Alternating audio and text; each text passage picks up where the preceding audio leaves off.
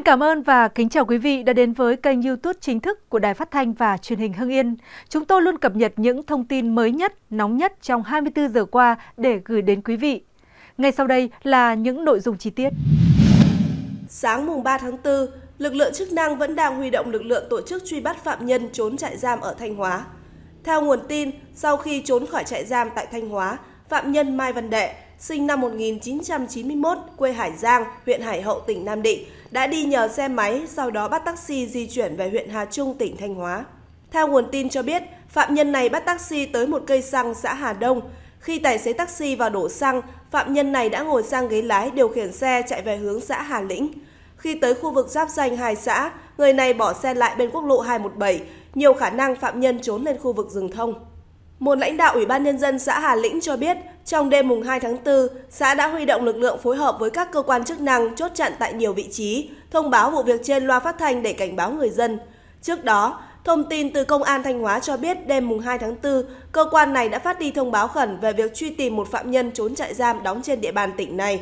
Theo đó, phạm nhân trốn khỏi trại là Mai Văn Đệ, sinh năm 1991, quê Hải Giang, huyện Hải Hậu, tỉnh Nam Định. Khi bỏ trốn, đối tượng mặc áo phông màu xanh, quần đùi kẻ ô vuông. Trong khi bỏ trốn, phạm nhân này đã cướp taxi, sau đó bỏ lại chiếc xe taxi tại địa bàn xã Hà Lĩnh, huyện Hà Trung, Thanh Hóa và bỏ trốn.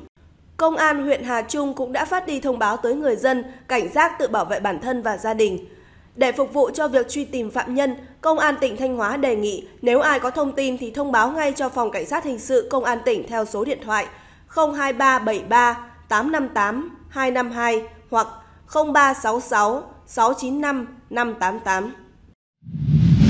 Trong quá trình thực hiện thi hành án, ông Hà Văn Hưng, Phó Tri cục trưởng Tri cục thi hành án dân sự huyện Bảo Yên, Lào Cai, bị Bùi Khắc Minh dùng dao rượt đuổi dẫn đến ngã gãy xương quai xanh.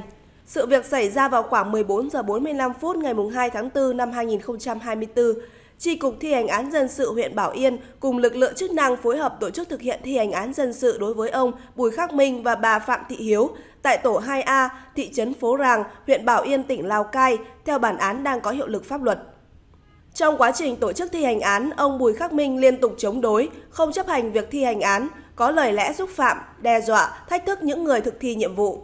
Đỉnh điểm, ông Minh đã cầm dao rượt đuổi ông Hà Văn Hưng, sinh năm 1974, Phó Tri Cục trưởng Tri Cục Thi hành án dân sự huyện Bảo Yên, khiến ông Hưng bị ngã dẫn đến chấn thương. Ngay sau khi xảy ra vụ việc, ông Hưng đã được đưa đi bệnh viện cấp cứu và được chẩn đoán gãy xương quai xanh. Hiện đã được chuyển lên Bệnh viện Đa khoa tỉnh Lào Cai để điều trị. Trao đổi với phóng viên, ông Đỗ Ngọc Ba, Cục trưởng Cục Thi hành án dân sự tỉnh Lào Cai cho biết, ngay sau khi xảy ra vụ việc, phía Tri Cục Thi hành án dân sự huyện Bảo Yên đã báo cáo lãnh đạo cục. Hiện đơn vị đang phối hợp với Công an huyện Bảo Yên, Viện Kiểm sát Nhân dân huyện Bảo Yên yêu cầu xử lý nghiêm hành vi chống người thi hành công vụ của Bùi Khắc Minh và vẫn thực hiện việc tổ chức cưỡng chế để đảm bảo tính nghiêm minh của pháp luật. Mới đây, Công an huyện Thanh Trì, Hà Nội bắt người bị giữ trong trường hợp khẩn cấp, tạm giữ hình sự đối với Nguyễn Việt Cường, 19 tuổi, trú tại Thương Tín, Hà Nội, để điều tra về hành vi chống người thi hành công vụ. Theo tài liệu của cơ quan điều tra, khoảng 13 giờ ngày 1 tháng 4, tổ tuần tra kiểm soát của Công an huyện Thanh Trì làm nhiệm vụ trên đường Ngũ Hiệp, thôn Tương Trúc, xã Ngũ Hiệp, huyện Thanh Trì, thì phát hiện ô tô Mazda CX-5 mang biển kiểm soát 29A45000 có biểu hiện nghi vấn nên dừng xe kiểm tra nồng độ cồn. Khi Thượng úy Ngô Việt Anh yêu cầu tài xế hạ kính để kiểm tra nồng độ cồn, bất ngờ lái xe tăng ga, lao vào tổ công tác và hất đại úy Đình Văn Ngọc lên nắp capo rồi tiếp tục bỏ chạy. Quá trình lái xe bỏ chạy, tài xế điều khiển xe lạng lách đánh võng, di chuyển được khoảng 200 mét thì đại úy Đình Văn Ngọc bị văng ngã xuống đất, còn tài xế Cường tiếp tục điều khiển xe bỏ chạy. Theo thông tin ban đầu, cú đâm đã làm đại úy Đình Văn Ngọc bị thương ở khuỷu tay trái, đầu gối phải, chấn thương phần mềm. Ngay sau khi vụ việc xảy ra, Công an huyện Thanh Trì phối hợp với các đơn vị nghiệp vụ khẩn trương xác minh yêu cầu chủ xe ô tô là NVT, sinh năm 1992, trú tại huyện Thanh Trì, Hà Nội, đưa xe về Công an huyện Thanh Trì làm việc để phục vụ công tác điều tra. Chủ phương tiện khai nhận không phải là người điều khiển phương tiện mà cho mượn xe. Lực lượng chức năng công an thành phố đã khẩn trương truy bắt. Đến 17 giờ 30 ngày 1 tháng 4, Công an huyện Thanh Trì, Hà Nội đã bắt được đối tượng Nguyễn Việt Cường. Đáng nói, cơ quan chức năng xác định Nguyễn Việt Cường có kết quả dương tính với ma túy. Chưa hết, Cường đã có một tiền án về tội gây dối trật tự công cộng vào năm 2022 và bị xử 20 tháng tù treo, 48 tháng thử thách. Khai báo tại cơ quan công an, Cường cho biết do lo sợ sẽ bị xử lý vì chưa có giấy phép lái xe và đang trong thời gian chấp hành án, nên đã tăng ga lao vào tổ công tác. Thực tế, đây không phải lần đầu tiên xảy ra những vụ việc tài xế bất tuân hiệu lệnh, hất công an lên nắp capo để bỏ chạy. Trước đó, vào ngày 10 tháng 3 năm 2023, Công an quận Hoàn Kiếm Hà Nội cũng đã khởi tố bắt tạm giam Nguyễn Đức Trung, 32 tuổi, trú tại quận Bắc Từ Liêm, Hà Nội, để điều tra tội chống người thi hành công vụ. Trước đó, tài xế Trung điều khiển ô tô mang biển kiểm soát 30E11257 hất một chiến sĩ cảnh sát giao thông thuộc đội cảnh sát giao thông đường bộ số 1, phòng cảnh sát giao thông công an thành phố Hà Nội lên nắp capo để trốn kiểm tra nồng độ cồn. Sau đó, lực lượng công an xác định tài xế Nguyễn Đức Trung vi phạm nồng độ cồn ở mức 0,126 mg trên 1 lít khí thở. Không chỉ riêng những vụ việc trên, mới đây ngày 30 tháng 1 năm 2024, Tòa án Nhân dân thành phố Hà Nội đã tuyên phạt Trịnh Hồng Đăng, 43 tuổi, trú quận Cầu Giấy, Hà Nội, mức án 14 năm 6 tháng tù về tội giết người.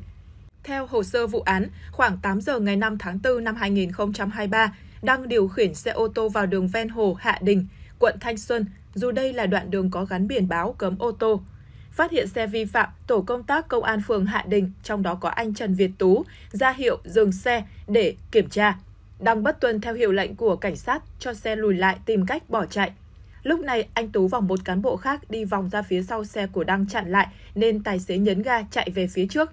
Sau khi Đăng bỏ chạy được một đoạn, anh Tú đuổi kịp và chặn phía trước đầu ô tô, đồng thời yêu cầu tài xế xuống xe. Ngay lập tức, Đăng nhấn ga đâm thẳng xe về phía nam cảnh sát, buộc nạn nhân phải nhảy lên nắp capo. Quá trình di chuyển trên đường, tài xế Trịnh Hồng Đăng phóng xe với tốc độ cao nên anh Tú phải bám vào cần gạt kính trên nắp capo.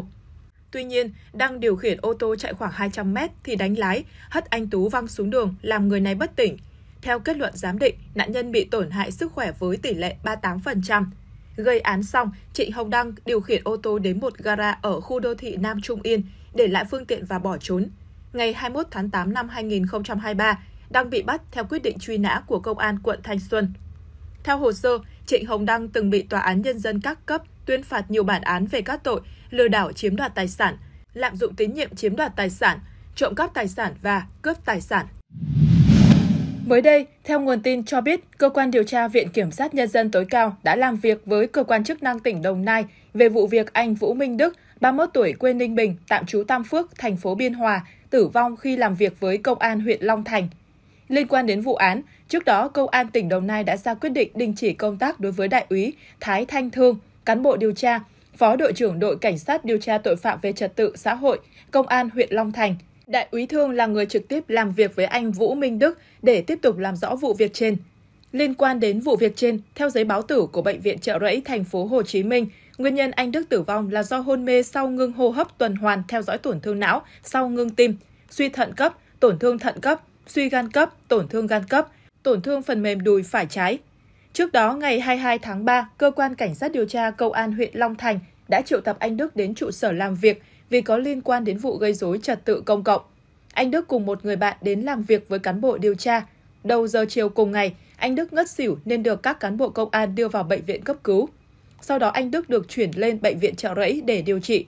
Theo gia đình nạn nhân, chiều cùng ngày, gia đình mới nhận được thông tin về việc anh Đức được đưa vào bệnh viện cấp cứu. Đến khuya 22 tháng 3, anh Đức được bệnh viện trợ rẫy thông báo tử vong. Đến ngày 23 tháng 3, Văn phòng Cơ quan Cảnh sát điều tra Công an tỉnh Đồng Nai đã ra quyết định trưng cầu Viện Pháp y Quốc gia giám định nguyên nhân chết của anh Đức. Hiện vụ việc vẫn đang được tiếp tục điều tra, làm rõ.